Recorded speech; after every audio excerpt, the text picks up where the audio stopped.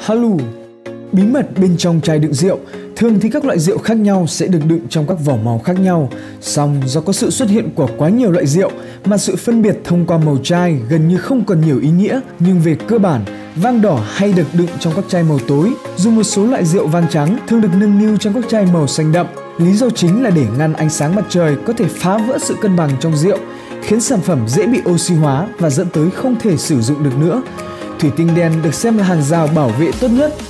Với bề mặt mịn màng cùng trọng lượng đáng kể, tạo ra một cảm giác sang trọng, một thức uống quyến rũ mà khi thưởng thức nó, người ta có cảm giác mình ở một vị thế rất đặc biệt.